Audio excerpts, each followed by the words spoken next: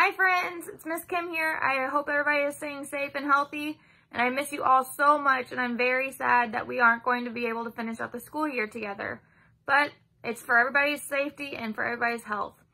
So today I'm here to read you a story and it's called Llamas in Pajamas. Who else has not been staying in their pajamas or something that's pretty comfy like their pajamas all day? I know I have, let me tell you.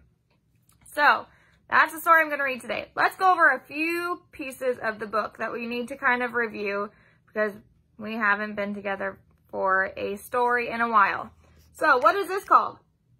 Good, this is called the front cover. What is this called? That's the back cover, very good. And what is this? It holds the book together. It's called the spine. Awesome. What does the writer do? Good, they write the words. And what does the illustrator do? They draw the pictures. Very good. And who remembers what this page is called? Good, that's the title page. It's called Llamas in Pajamas. Sam, Allie, and Charlie all yell with delight. There's a creepy sleepover at Frankie's tonight. Please come to my sleepover, Frankie.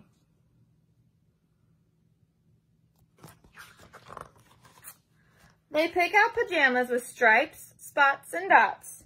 With their packs on their back, off to Frankie's they trot.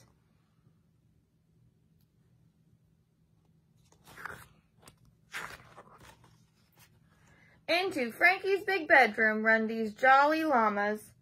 Hi guys, shouts Frankie, check out my pajamas.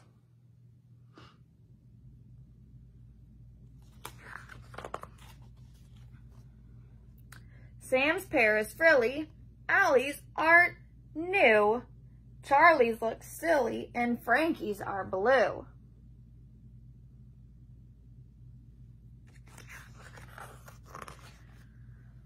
They play games by flashlight. Ooh, hoo, Frankie's wails. Let's stay up till midnight and tell spooky tales.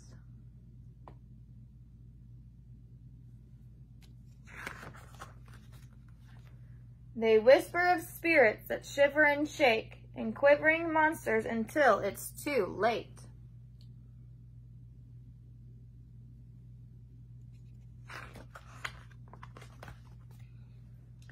They fall fast asleep, but wake up with a jump.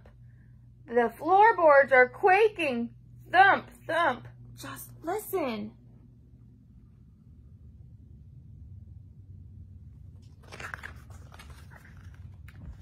A beastie is coming. He's haunting the hall. Take cover, calls Frankie, or he'll eat us all.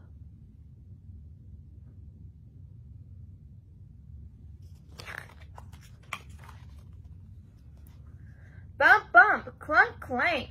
He's outside the door. They hide under the blankets and slide to the floor. Creak goes the door. It opens a crack. In creeps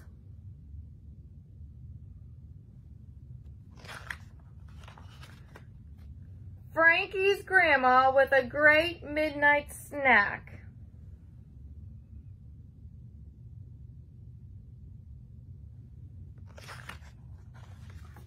So I hope everybody enjoyed this story and I hope everybody gets to stay safe and healthy and at least gets to do something fun while they're stuck at home.